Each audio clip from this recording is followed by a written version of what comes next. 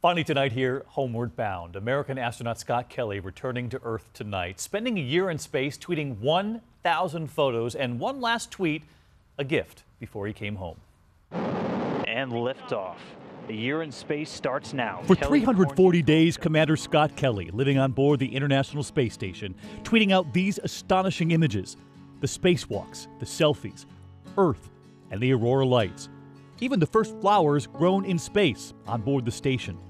He was there to study the effects of space on the human body, compared to his twin brother, retired astronaut Mark Kelly, back on Earth.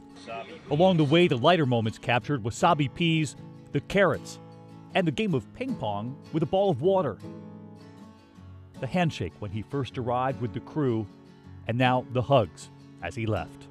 Closing the hatch, a final image looking out the window, and a final tweet, his last sunrise before returning to Earth.